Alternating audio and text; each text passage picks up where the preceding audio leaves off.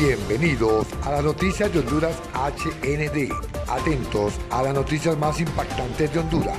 Comenzamos.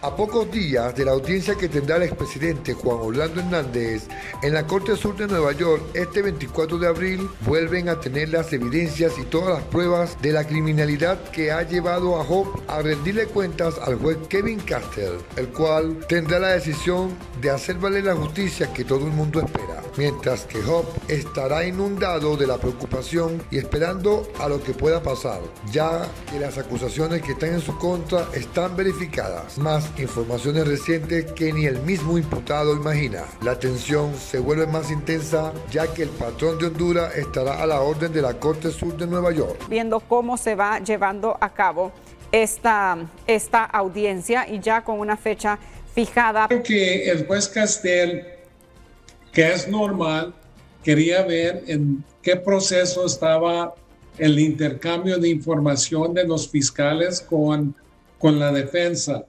Aparte, el defensor Colón hace tiempo pasado que dijo que muchas agencias tenían más documentos uh, sobre de Juan Orlando Hernández. Estoy hablando de la CIA, de la DEA, del FBI, de, de Seguridad Nacional.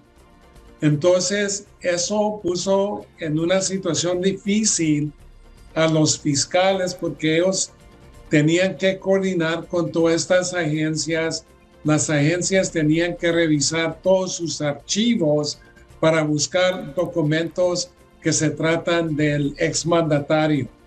Aparte de eso, uh, el defensor Colón necesitaba de pasar por una investigación de seguridad para que él pudiera tener acceso a esos documentos clasificados y son clasificados porque pueden tener impacto en la seguridad nacional de los Estados Unidos.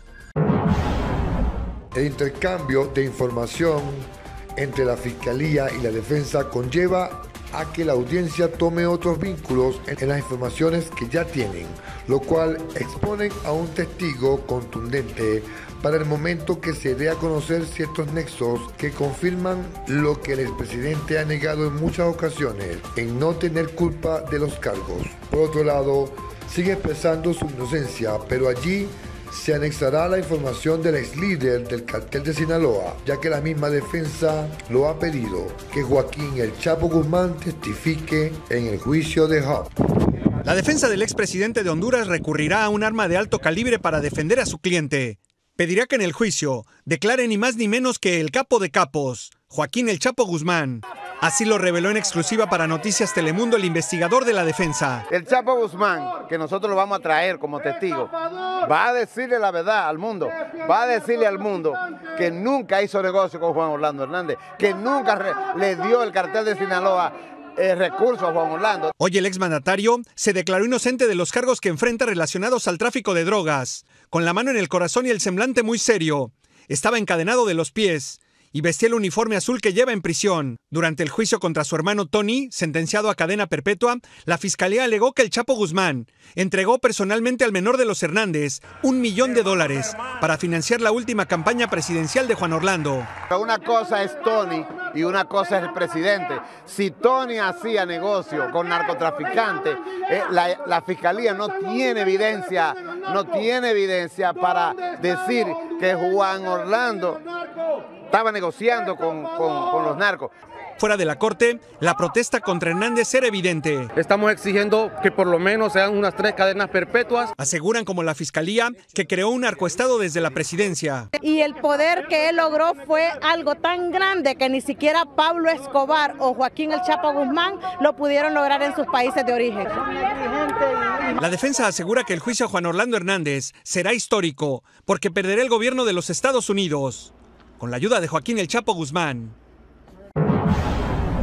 Por otro lado, el abogado Raymond Colon expresó algunas reacciones lo cual se tomaron intransigentes para dicho momento, donde el juez Castell precisa ciertas opiniones del caso, ya que la defensa expone no tener evaluaciones completas para así poder llevar la audiencia en curso detallando cada palabra para su defendido. Desea tener todo a su disposición para tener una defensa concreta Juan Orlando Hernández se declara inocente frente a un tribunal de la ciudad de Nueva York. El expresidente de Honduras fue extraditado a Estados Unidos el pasado 21 de abril por los delitos de tráfico de cocaína y posesión de armas pesadas. Raymond Colon aprovechó la ocasión para denunciar que a su cliente lo estaban tratando como un prisionero de guerra. Lo tienen confinado 24 horas al día. Esto es imposible, eso se le hace a un terrorista, no a un expresidente de un país soberano. no se puede explicar por qué lo están tratando como un prisionero de guerra. El abogado insiste que Hernández no tiene relación con los actos delictivos de su hermano. no se debe condenar un hermano por los pecados de otro hermano. Y también que esto es una venganza, de, una vendetta de venganza contra un hombre que dedicó su vida no solamente a imponer, eh, traer justicia a Honduras, extraditar a los narcotraficantes, pero también tratar de promover el bienestar del pueblo hondureño. El juicio contra Juan Orlando Hernández ha sacudido a Honduras y a la diáspora hondureña en Estados Unidos. Solo algunos se atreven a mostrar su apoyo al expresidente en público, mientras que la mayoría condena su imagen.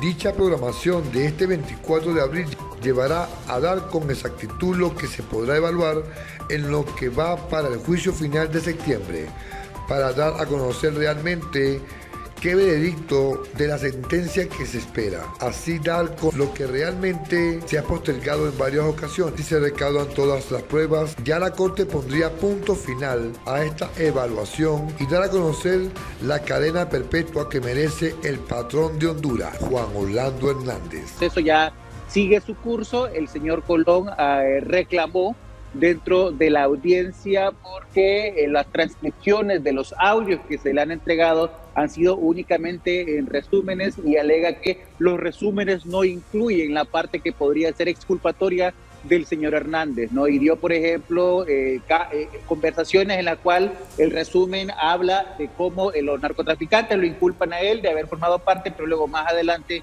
en la conversación misma eh, se alega de que él no ha querido formar parte o no ha respondido llamadas o no, o no, está eh, en, en, confusión con las personas involucradas en el narcotráfico. Entonces, ha sido uno de, los reclamos más importantes, aparte de las condiciones penitenciarias que, eh, como bien se ha dicho, ya afectan la, relación entre el abogado defensor y Juan Orlando Hernández para poder conocer a cabalidad todas las pruebas que la Fiscalía está presentando. Es un caso que ha llevado eh, años de investigación, por lo tanto, eh, todas estas piezas probatorias que están presentando son alrededor de 3.500 piezas probatorias que dice que están presentando requiere, y requiere mucho tiempo por parte de la Fiscalía llevar todo eso, determinar qué es lo que se va a clasificar, qué es lo que eh, no se va a clasificar y darle además tiempo a la defensa para poder responderlo.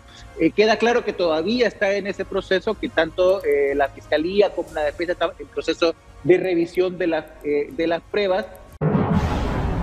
Honduras es conocida como un narcoestado donde organizaciones criminales que van desde grupos y carteles organizados hasta la cúpula del poder.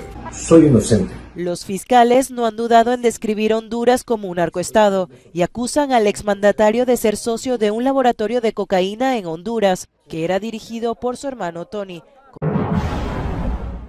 Suscríbete a las noticias de Honduras HND, déjanos tu like, déjanos tus comentarios y no te pierdas las noticias más importantes de Honduras. Nos vemos en un próximo reporte.